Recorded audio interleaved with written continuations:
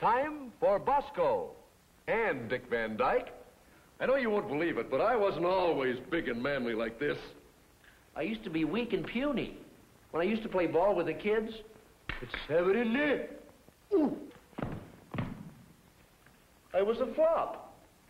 And then my mother discovered Bosco syrup. I began to have lots of Bosco and milk. Oh, that real chocolate flavor. One tablespoon of Bosco, quick stir, And then,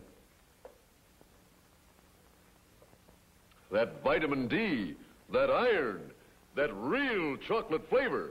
Now look at me. Strong, handsome, thirsty. On the level, Bosco's the greatest. One product for everything. In milk, hot or cold, on ice cream.